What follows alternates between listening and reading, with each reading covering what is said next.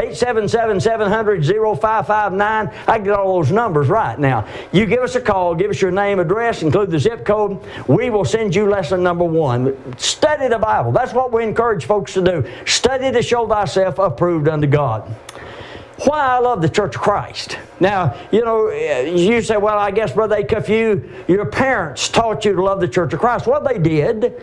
I want you to look at this terminology for a second. We're going to be looking at Ephesians chapter number 5, verses 23 through 27. Now, when we read what the Bible says, then I'm going to come back and I want you to look at the terminology. The Bible says, For the husband is head of the wife, even as Christ is head of the church, and he is the Savior of the body. Therefore, as the church is subject unto Christ, so let wives be subject to their own husbands in everything. Husbands, love your wives, even as Christ also loved the church and gave himself for it, that he might sanctify and cleanse it with the washing of the water by the word, that he might present it to himself a glorious church, not having spot or wrinkle or any such thing, but that it should be holy and without blemish. Now, I want you to look at something. The Lithia Springs Church of Christ. Let me tell you what that means. That means that there is a church, and the word church comes from the Greek word ecclesia, which means called out. Lithia Springs Church of Christ simply means that there are called out individuals who recognize Christ as the head of his body who worship at the Lithia Springs location. See, the word Church of Christ is not a denominational name. You know, so many times folks say, well, what, what denomination you? I'm not a denomination. A denomination means division. And so when you look at the terminology, here's what it means simply the church that belongs to Jesus Christ. So when I make this statement, why I love the Church of Christ, now certainly I love the Lithia Springs local congregation. I love the churches of Christ worldwide. But I want you to look at this again when you look at that terminology, why I love the church that belongs to Jesus Christ. It is His, it's not mine. He's the head of the body, the church, who is the beginning, the firstborn from the dead, that in all things he might have the preeminence. All right? Now I'm going to give you three reasons as you and I study this lesson today. Number one, I love the church that belongs to Christ because of what Christ said about the church. Well, Christ, what did he say about it? Matthew 16, 18. Now, in this chapter, you remember, uh, if you go back to verse number 13, Jesus asked the question, Who do men say that I, the Son of Man, am? Some said, Well, thou art Elias or John the Baptist or one of the prophets. And so Jesus said, Who do you say that I am? Peter said, Thou art the Christ, the Son of the living God. Jesus said, Blessed art thou, Simon Barjona, for flesh and blood has not revealed it unto thee, but my Father which is in heaven. And in verse 18 he said, And I say also unto thee that thou art Peter, and upon this rock I will build my church, and the gates of hell shall not prevail against it. Now, here's why I love the church that belongs to Jesus Christ because of what He said. Listen to what He said. He said, I will build my church. It's personal. It's not John the Baptist. It's not some man, well, we're going to exalt man and put man's name on it. You drive by church buildings and it's got, it's got the, the name of a man on the building, it's got the man's name on a denomination, it has man's concept. Jesus said, I'll build my church. Not man, not John the Baptist.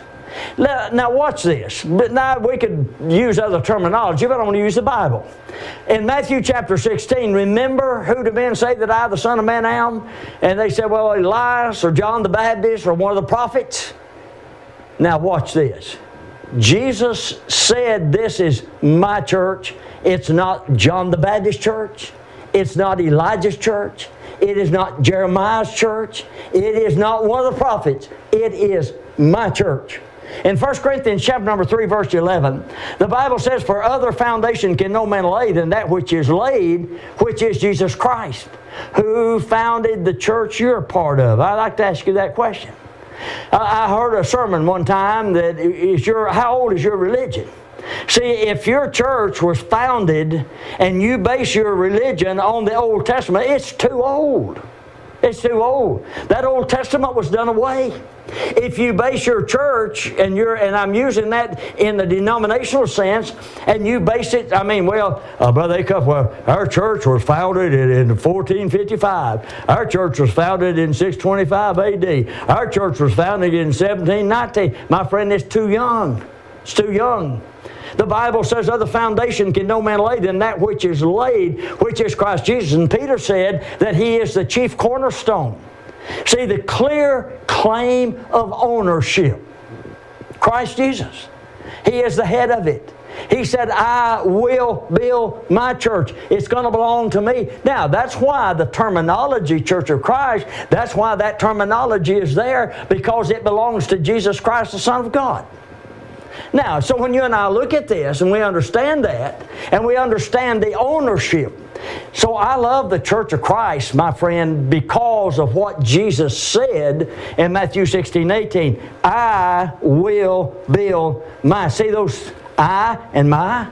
Not Elijah, not Jeremiah, not John the Baptist and you look at our denominational world today, I'm going to tell you, I'm amazed. I'm amazed. These folks go out here and get a building and put a name on it. It doesn't have a thing in the world to do with Christ. It doesn't exalt Christ. It doesn't mention His name. Some of them mention men's name.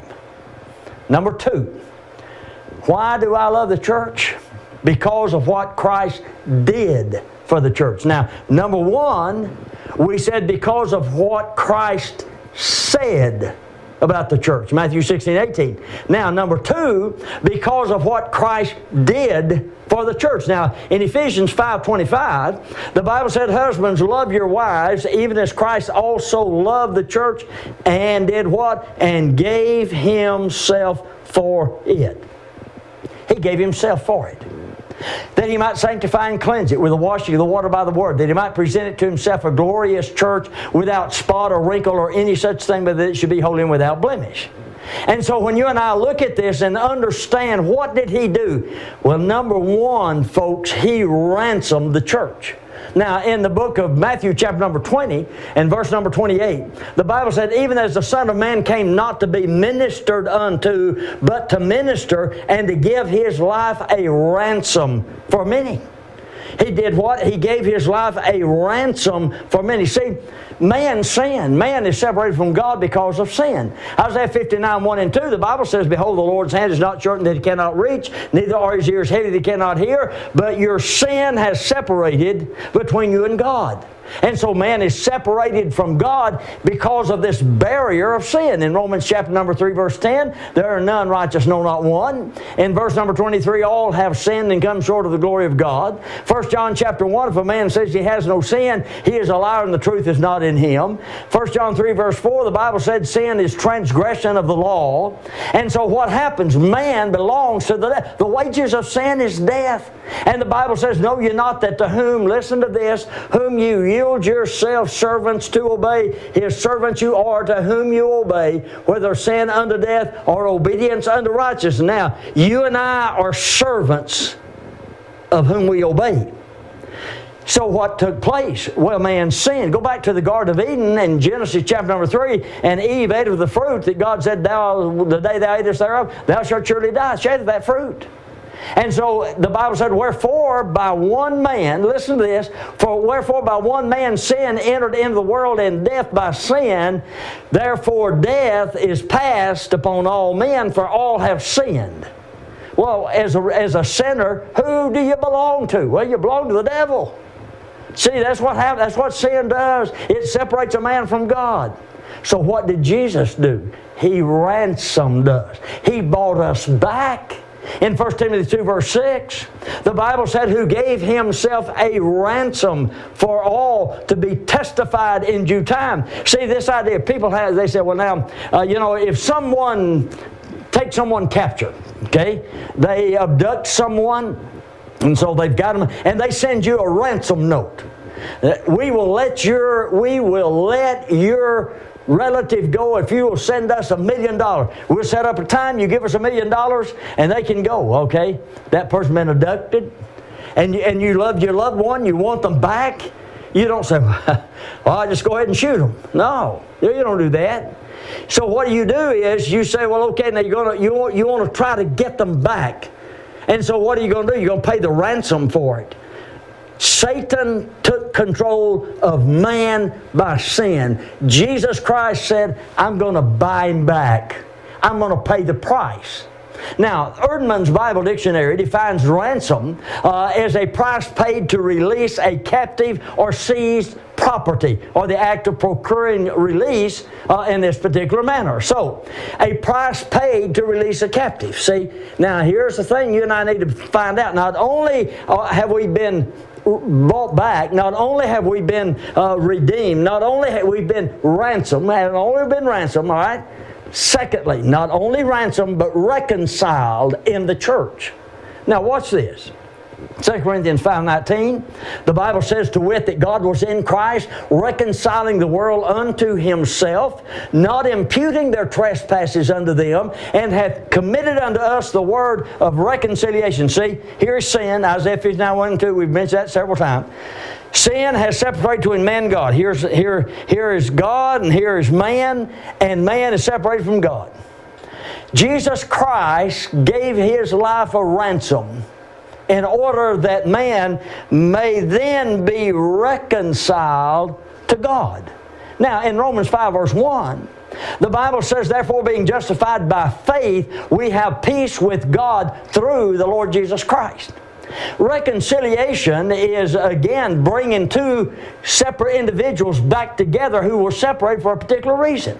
In the book of Romans, chapter 6 and verse 18, we read 16 and 17 a minute ago. I know you're not to whom you yield yourself servants to obey as servants, you are to you obey, whether sin unto death or obedience unto righteousness. But God be thanked, you are the servants of sin, but you've obeyed from the heart that form of doctrine that was delivered to you.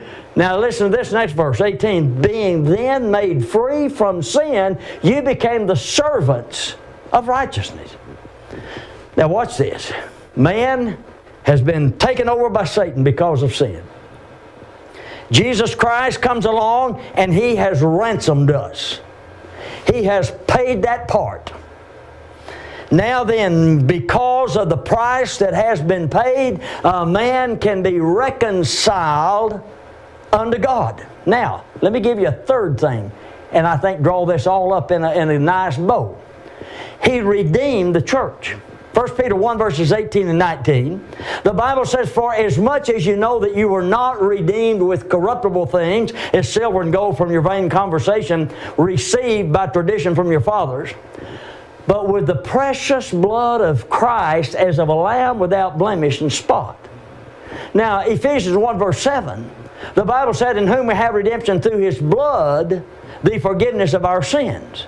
In Matthew chapter number 1 in verse number 21, the Bible says, when in announcing the birth of Jesus, the Bible said, He shall save His people from their sins. In John 1 and verse number 29, John, in his introduction to Jesus, said, Behold the Lamb of God that taketh away the sin of the world. Then Paul in 1 Timothy 1 verse number 15 said, Jesus Christ came into the world to save sinners of whom I am chief. All right? Then when you and I look at this, so what do we, I love the church of Christ because of what Jesus said about it in Matthew 16, 18, I will build my church. I love the church of Christ because of what Jesus did for the church, because he gave his life a ransom. Now, I must submit to his will. You know what? You've been, you've been uh, abducted, you've been captured, Somebody pays the ransom and you, yeah, no, man, you got to be crazy. I like it where I am, huh? See, that's what many are saying in the world today. See, people have this idea called universal salvation. Well, because Christ died on the cross, shed His blood, I can just basically do whatever I want to do to make any difference. God's going to save me anyhow, and therefore everything is just going to be right, and I'll do whatever it is I want to do. You got to keep something in mind, my friend. You have to make a conscious choice and a conscious decision to accept the pardon that has been given to you.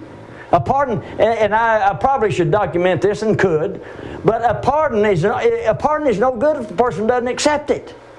Christ redeemed, reconciled, ransomed us. But my friend, listen, unless I am willing to submit to His will, notice this. The Bible says He has delivered us from the power of darkness and translated us into the kingdom of His dear Son, in whom we have. Well, now, back up, because here's the kicker. He has delivered us from the power of darkness translated us into the kingdom into the kingdom of his dear son in whom we have redemption through his blood. Where is that blood administered? In his kingdom when you're baptized into christ for the remission of your sins. In the book of acts chapter number 2 you remember on the day of pentecost if you don't remember go read acts chapter number 2 they had crucified the son of god and so Peter said, You with wicked hands crucified the Son of God. They cried out to Peter and the rest of the apostles, Men and brethren, what shall we do? And then Peter said to them, Repent and be baptized, every one of you, in the name of Jesus Christ for the remission of your sins, and you shall receive the gift of the Holy Ghost. You know what the Bible says in verse 47? And the Lord added to the church daily those that were being saved. All right, now go back with me on my analogy. You've been captured, all right? You've been abducted by the devil. God sent his son, and God said, I'm going to let my son die as the cost in order for you to be reconciled, redeemed, and ransomed. I'm going to let my son pay that price. Now then, when you look at Colossians chapter number 1 and you see that we have been uh, delivered from the power of darkness and we've been translated where? Into the kingdom. Now, my friend, salvation is in Christ in His body. That's what the Bible tells us. The Bible, listen in Ephesians chapter 5. Remember, the Bible says He is the Savior of the body. So I'm challenging you. When you, I love, I love the, I love the church that Jesus built. I love the church that Jesus bought because of what he said in Matthew 16, 18, and because of what he did in Ephesians 5, 23 through 27. Now, I want to go to a third thing. I love the church of Christ because of what Christ promised the church. Ever had somebody make a promise to you? Now look at this. We, we quoted this earlier, Matthew 16, 18. And I say also unto thee that thou art Peter, and upon this rock I will build my church, and the gates of hell shall not prevail against it. I want you to underline that phrase. And the gates of hell shall not prevail against it. Boy, isn't that powerful? Jesus said, I'm going to build my church. And the gates of hell, I don't care what they do, I don't care what the devil does, it doesn't matter how strong he thinks he is, he will not prevail against the church. Now, my friend, if you want to receive a, a secure, a secure situation, you know, we're confronted throughout our world. Men are confronted. They never know when ISIS may occur. They never know when some terrorist may occur and, and, and just begin to, to shoot folks down or to drive a vehicle in a crowd. Now, if I could say to you, now we go to malls, we go to shopping centers or, or to uh, restaurants, we go to sporting events. I want to ask you a question. If, if I could guarantee you, and you believe that guarantee, that doesn't matter where you go, you go to any mall, you go to any restaurant, you go to any sporting event, I will guarantee you it doesn't make a difference. They will not be able to get to you. What would be your reaction? Well, let me tell you something, folks. There's a place like that spiritually, and that is the church. Jesus said, I will build my church. Satan has no power, and he cannot penetrate it. Now, you and I can leave it this, con- this doctrine, once in grace, always in grace, once saved, always saved, is not a doctrine of the Bible. That is a doctrine of man. The Bible says in 1 Corinthians 15, verse number 24, Then the end shall come, when he shall have delivered up the kingdom unto God, even the Father. So when you and I recognize that it is within the church, number one, salvation is there, protection is there, The presence of Christ is there. God's love is there. And so when you and I recognize this, now the end, folks, let me tell you, the end is going to come. One of two things is going to happen. Larry Acuff is going to die one of these days. Larry Acuff uh, you know, you think, well, I've, I've, you know, I think, no, I'm going to live be 500, 5,000. No, no, no. The day will come when I will die. Or Christ will return. One or the other. Eh, one or the other is going to take place, folks. Now, notice this in Ephesians 5 and verse number 27. Now, we looked at 1 Corinthians 15 24, then the end shall come. In Ephesians 5 27, the Bible said that he might present it to himself a glorious church without spot or wrinkle or such thing. Now, watch this. In Acts chapter number 2, Jesus is sitting at the right hand of the throne of God. The end of time is going to come. What is he going to do? He's going to take this glorious, precious, body that He died for. And He is going to lift it up and present it to God. See, the Lord's promises, folks, are exceeding great and precious. 1 Peter 1, verse 4. When you and I consider this, what is Christ going to do? The Bible says the end's going to come, that He's going to do what? Present it to Himself. It may be present. You know what the Bible said? Matthew 10, 32 and 33, Whosoever therefore shall confess me before men, him will I confess also before my Father which is in heaven. Whosoever therefore shall deny me before men, him will I deny also before my Father which is in heaven. And so when you and I recognize it, I love the church that belongs to Jesus Christ. I love the church that belongs to Jesus Christ because of what he said in Matthew 16, 18. I love the uh, church of Jesus Christ because of what he did in Ephesians 5. I love the church of Christ because it will stand into eternity. Now, my friend, listen to this. Are you in that church? Have you been saved? If you have not, then let me encourage you hearing the Word of God. Upon hearing the Word of God, you believe it. And upon your faith in Christ Jesus as the Son of God, then you make a change in your life, repent of your sins, confess His name before men. And then upon that confession, you be baptized into Christ for the remission of your sins. Once you are in the body of Jesus Christ, remain faithful. The Bible says, Be thou faithful unto death. I'll give you a crown of life. Jesus said, He that endure to the end shall be saved. Now there are those who don't.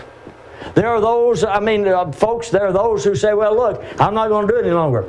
So when you and I look at this, see, because of what Christ promised the church, I want to go to heaven. You know what the Bible says in Acts 2.47? We've read it. The Lord added to the church daily who? Those that were being saved. Now, those of you out here in our audience today who are listening to this program, you have never obeyed the gospel of Christ. You are not a Christian. You've never been a part of the church. My friend, let me say this. I say it because I love you you. Not trying to be unkind, not trying to be a mean in any sort of the way. I'm telling you this because you're lost. You're lost. And as a result of that, unless you change and repent and confess and are baptized and live faithful, then my friend, you will spend eternity in hell, a place where the worm dieth not and the fire is not uh, put out. The Bible says the smoke of the torment set up forever and ever. They have no rest day or night. I love the church of Jesus Christ. We thank you for watching our program today. Our prayer is that God will bless you.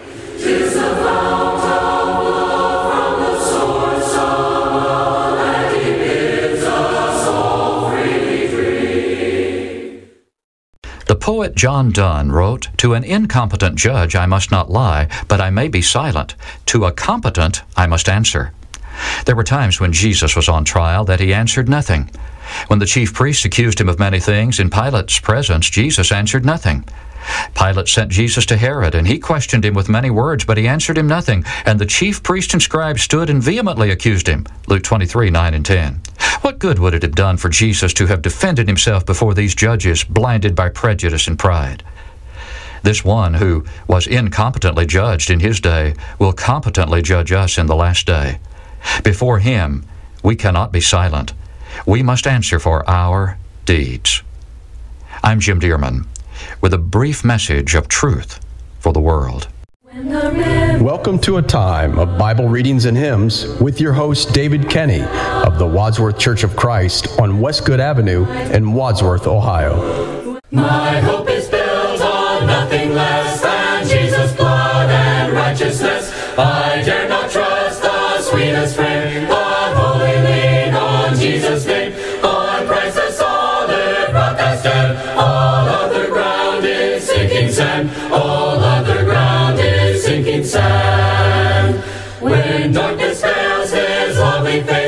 It's 11 o'clock. This is WJHF LP, Florence, Alabama, 106.9 FM. Brought to you by the Jackson Heights Church of Christ, where you'll hear the truth, the whole truth, and nothing but the gospel truth. It's 46 degrees.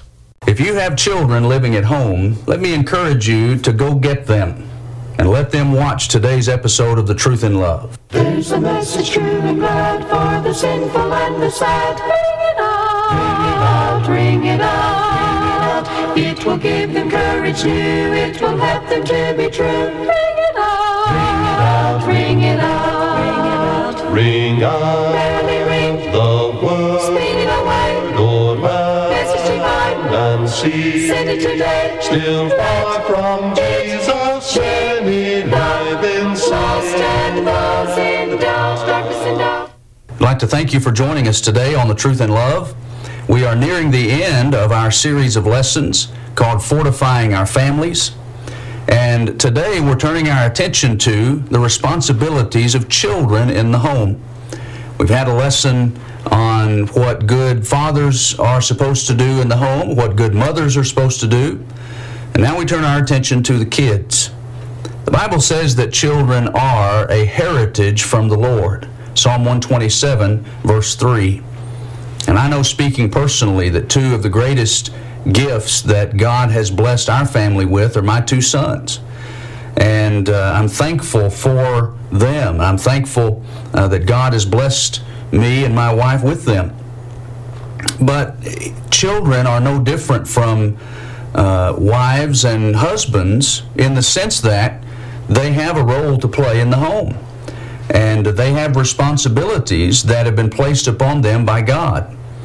And uh, we're going to be studying that today uh, by specifically looking at the advice given to young people by Solomon in the book of Ecclesiastes.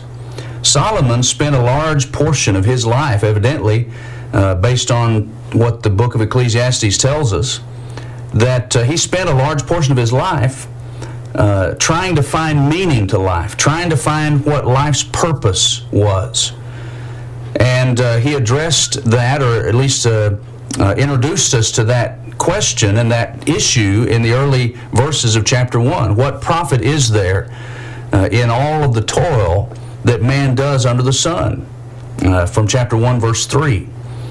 And so Solomon tried to find an answer to that question. What profit is there to the things that we do? What gain is there? What, what is life's meaning? What is its purpose? And he had the ability and the money to look wherever he wanted to. And you learn from the book that he did. He, he tried everything. And uh, he reached a conclusion that life under the sun, a phrase that he uses often in the book, which simply refers to life uh, without God in the picture, without God in the mix.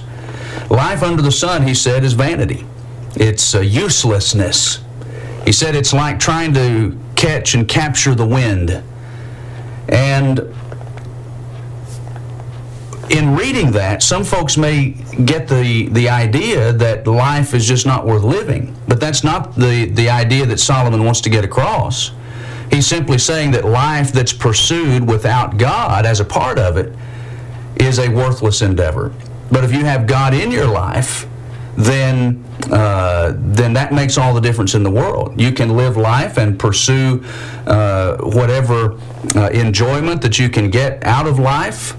Uh, chapter 2, verse 24, put God in his proper place, and, uh, and then life will ultimately have its greatest meaning. And from those particular principles in the book of Ecclesiastes, there are a lot of things that young people especially need to learn without having to learn those lessons the hard way. See, Solomon learned those lessons the hard way. He uh, he experimented with various things to try to find purpose and meaning to life, and he, he didn't find it in those things. And the fact that he recorded his search for us enables us to learn the lessons that he learned the hard way, we can learn them the easy way. And Solomon has some things to say to young folks near the end of the book. And I hope you have your Bibles there and you'll open them to the book of Ecclesiastes and specifically chapter 11. And we'll look at the last few verses of chapter 11 and the first few verses of chapter 12. And what Solomon hoped that young people would do, uh, and certainly what I hope that you as a young person will do, is to learn these lessons so that you don't waste a lot of the years of your life chasing things that never satisfy. And, uh, and, and through that process, you miss out on what true enjoyment of life is all about. So, what did Solomon say specifically to young people? Consider these points. Number one, Solomon teaches in Ecclesiastes 11 that young people should enjoy being young. Look at chapter 11, verse number 9, and the first part of verse number 10. Rejoice, O young man, in your youth, and let your heart cheer you in the days of your youth. Walk in the ways of your heart and in the sight of your eyes, but know that for all these God will bring you into judgment. Therefore, remove sorrow from your heart Put away evil from your flesh, for childhood and youth are vanity. So, Solomon says at the very outset, Rejoice, young person, in your youth. Let your heart cheer you in the days of your youth. Though some people don't believe it, God does want you to enjoy your life. God is not opposed to people, young or old, having a good time. God's not opposed to enjoyment. Some people have the false idea about God, and and uh, I suspect that's probably more prevalent among young folks that they have this concept of God that God just wants to stifle good times, that God wants to stifle enjoyment. God doesn't want people to be happy. That He uh, has His place up in heaven, looking down at the people uh, of earth, uh, just uh, trying to figure out ways to keep them from enjoying life.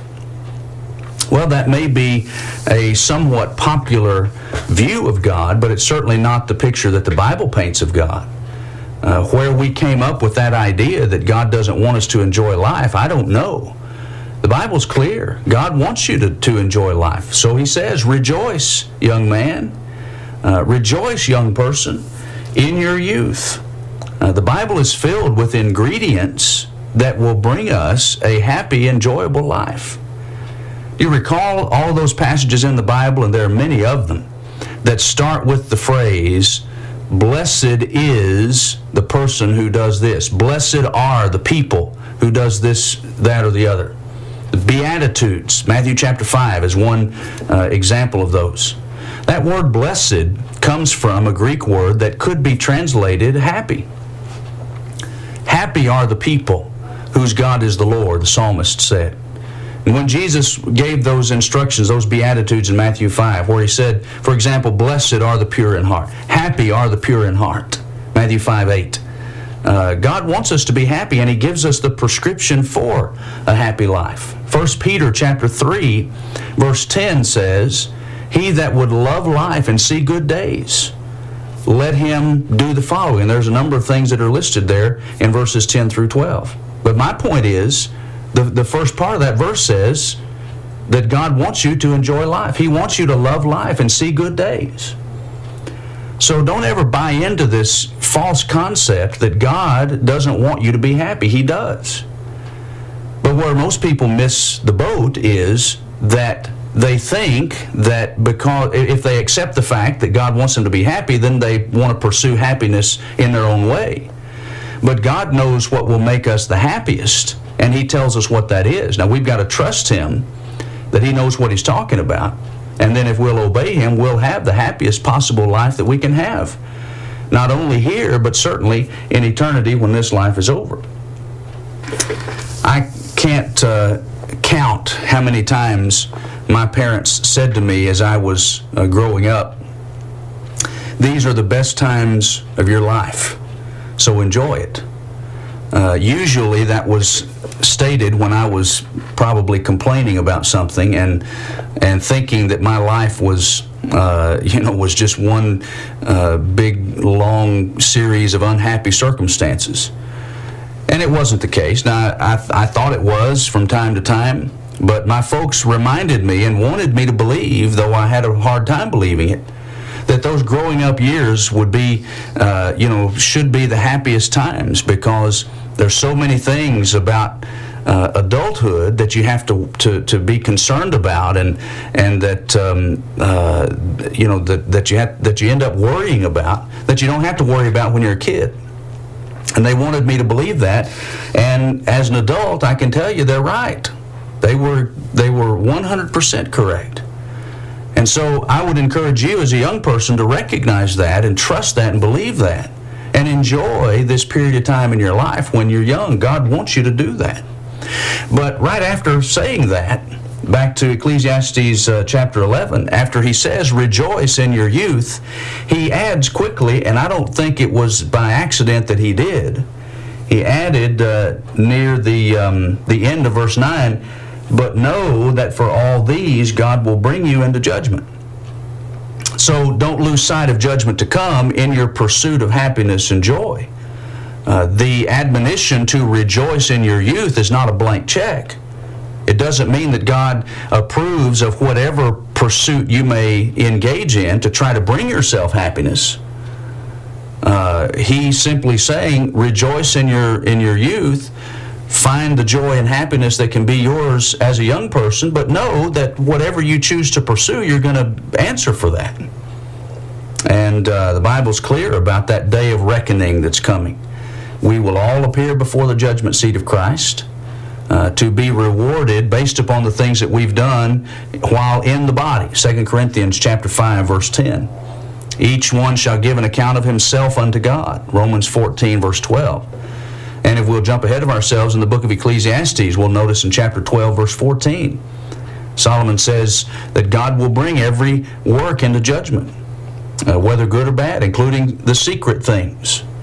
So we need to remember that uh, that enjoying life is a pursuit to be made within the confines of God's authoritative word. Some people think that being destructive uh, and being mean and uh, doing evil things are, are, are things that, that bring uh, the most enjoyment, and that you really can't have much fun or enjoyment living the life of a Christian. Well, that's just not true. There is great joy to be had in living the Christian life, and those that uh, that have claimed to be Christians but but said that there was no enjoyment in that life need to do one of two things. They either need to really pursue the Christian life, because I suspect they didn't or two, reorient their thinking with regard to what's right and what's wrong and find the joy that exists in doing what's right. But then let me add just a side point to uh, parents, uh, especially those that have younger children. It's an important thing for kids to be able to be kids. Uh, we seem to, in our in our culture, to place a lot of pressure sometimes on uh, on young kids to uh, to grow up too fast, uh, physically, socially, academically, uh, spiritually. Sometimes uh, we want our kids to grow up faster than really they need to. Let your kids be kids, and it's hard to know where to where to draw the line with that. Not everybody's going to draw it in the same place. But youth should be a time for enjoying life. Again, within the confines of biblical authority but uh, but there's much enjoyment to be had within those borders. So young people, enjoy your youth, and enjoy your youth with the full recognition that you will answer for your choices one day, just like all of us will. Now, in the second place, uh, I would add to that uh, a similar point that, that kind of builds on the first one, where Solomon says in chapter 11, the latter part of verse number 10, remove evil from your heart. So, in the same sense in which we can and should rejoice in our youth and enjoy it according to God's will, he also says, remove evil uh, from your flesh. Remove evil from your heart. Youthful carelessness can contribute to a lot of sorrow. That's why we need to, to take special care to stay away from that which is evil, because the way of the transgressor is hard. Proverbs uh, uh, 13, 15 and uh, you know selecting friends poorly can bring a lot of sorrow into your life. Evil companionships corrupt good morals. 1 corinthians 15 verse 33 and so there are a lot of things that sometimes become a part of uh, the, the lives of young people that we need to be careful about and remove ourselves from evil influences. That's the best way to be happy is to stay away from that which is evil Childhood and youth are fleeting, as Solomon says in verse 10 of Ecclesiastes 11. So don't waste your youthful years on things that are only going to bring you grief.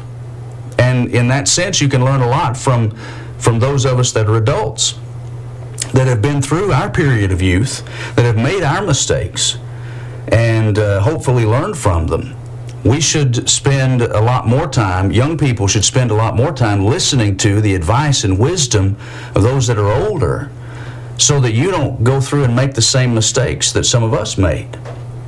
So enjoy being young, remove evil from your heart. And then as we get into chapter 12, verse 1, uh, Solomon makes this admonition. Ecclesiastes 12, verse 1 Remember now your Creator in the days of your youth before the difficult days come and the years draw near when you say, I have no pleasure in them. Serving God is not something confined just for the elderly. Serving God is not confined just to uh, adults, older people. The Bible speaks of a lot of people who served God in, uh, in their youth. I think of names like Joseph and Samuel uh, think of young David and Josiah and Daniel and others. The Bible mentions who were on the youthful side of, uh, of the age estimations. They were still considered young people who did good things in God's service. Jesus left an example of that as well. If you read Luke chapter 2, verses 41 uh, through the end of that chapter, you read about an incident when Jesus was 12 years old and uh, was discussing matters pertaining to the law of Moses with the doctors of the law in the temple area. And there he was. Uh, asking them questions about the law and discussing the law with them. And the text says that those, uh, those teachers of the law were uh, impressed by the way he handled himself. And when his uh, when his mother found him there, they'd been searching for him because they thought that he was lost. And when she finally found him there, and she asked why he had, uh, you know, put them through that that bit of misery for them not knowing where he was, and he said, "Don't you know that I must be about my Father's business?" Luke two verse forty nine. And so Jesus left an example of having a proper emphasis on things spiritual, remembering God in the days of youth.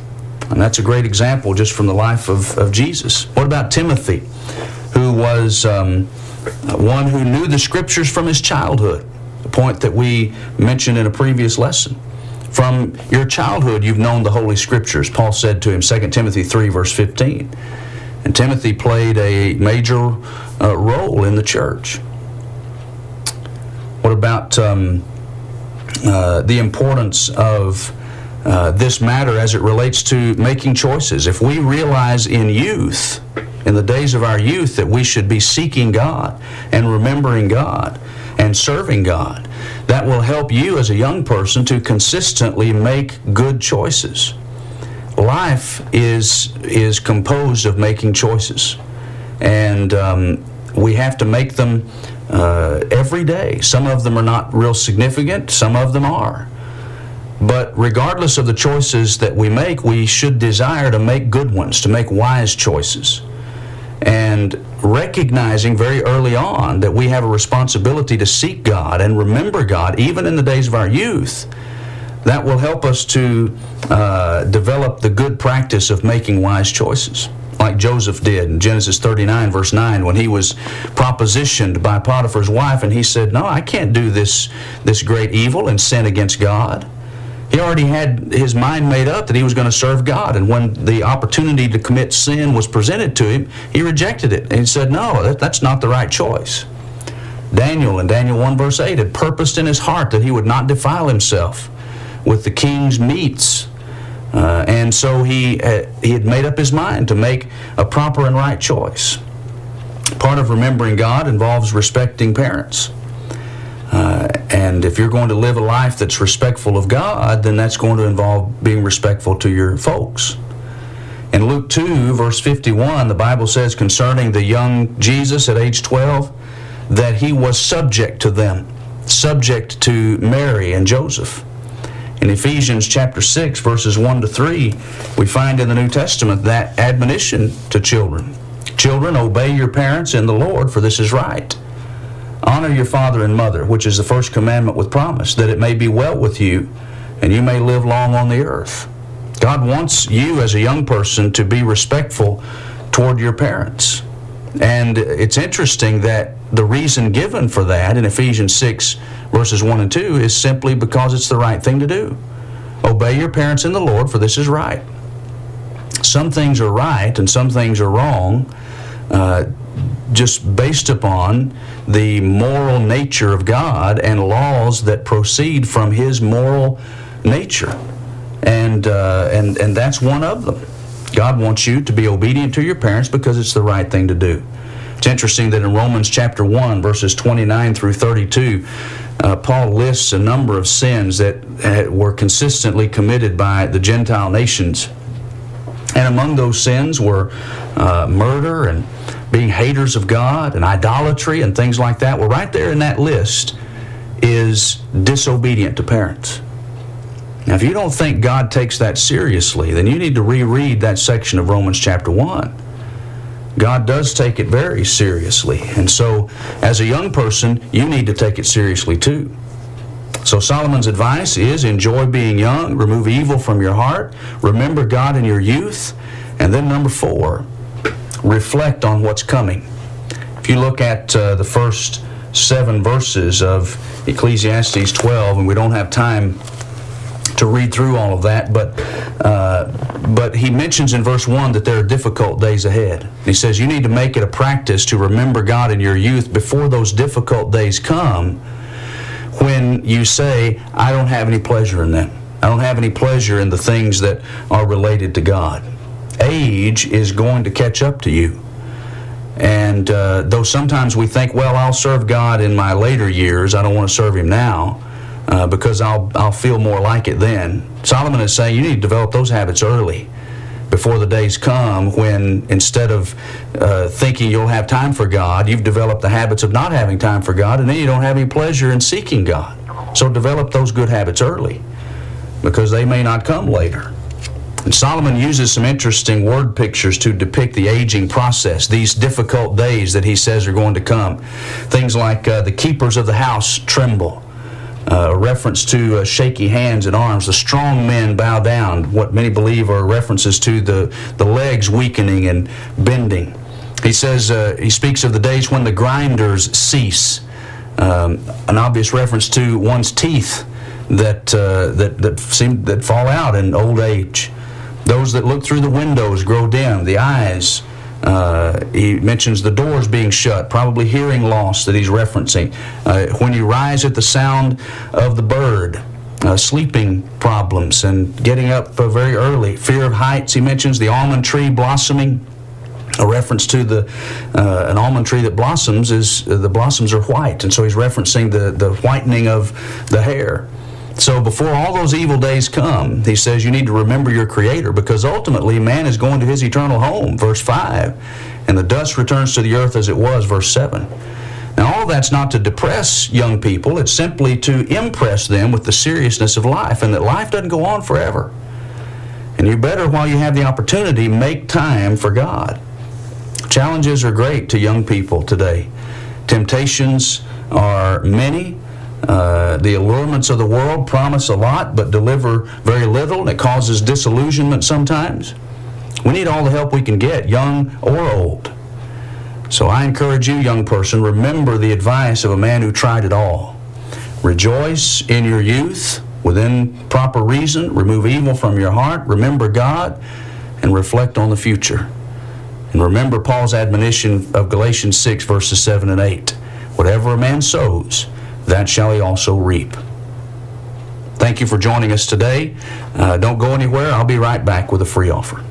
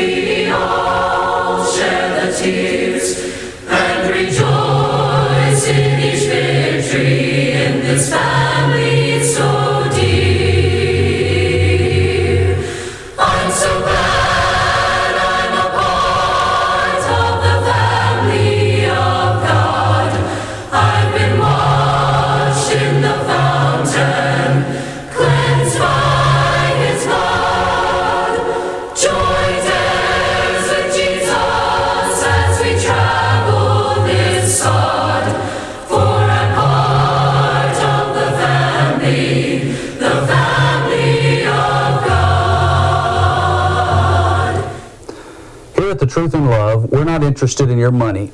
We're interested in your soul. If you're not a Christian, in order to become one, you must believe that Jesus Christ is the Son of God, John 8 24. Repent of your sins, Acts 17 30. Confess your faith in Christ, Romans 10, verse 10, and be baptized into Christ for the forgiveness of your sins, Acts 2 38 and Mark 16 16. I encourage you to do those things if you've not already. If you'd like to have a copy of the lesson that you've seen today, then we'd like for you to have it. You can have it in the form of a DVD, an audio cassette, an audio CD, or a written transcript. All you have to do is contact us. We have an 800 number. It's 800 819 2966. We have an email address, requests at thetruthinlove.com. You can go to our website, www.thetruthinlove.com. Or if you want to send us a postcard or a letter, P.O. Box 865, Hurst, Texas 76053. We hope to hear from you soon.